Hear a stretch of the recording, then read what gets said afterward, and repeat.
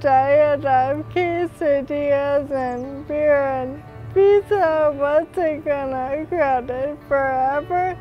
So I started running in 2010. Um, I did my first half marathon in 2011, first marathon in 2012, and then I started in on the triathlons.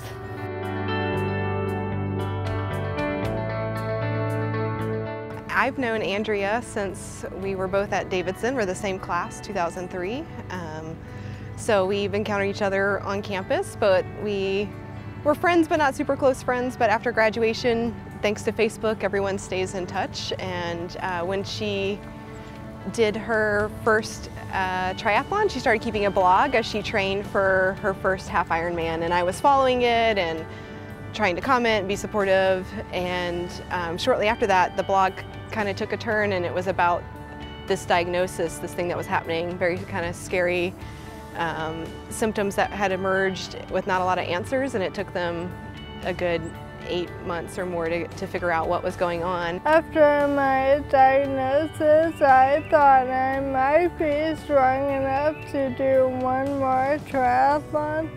So I did a, a sprint triathlon um, about two months after my diagnosis and I came in last um, by an hour. That I couldn't inspire people with my story. Um, and then I just kept riding my track and I kept being able to do what I didn't realize I could do. And so I've done about four marathons and four triathlons and seven half marathons. Andrea dedicates every one of her races to someone who is battling or has battled ALS uh, that, that has inspired her. She's working on a book. She's um, keeping up with everyone, with their babies. Um, she constantly asks how my mom is doing with her fight against cancer.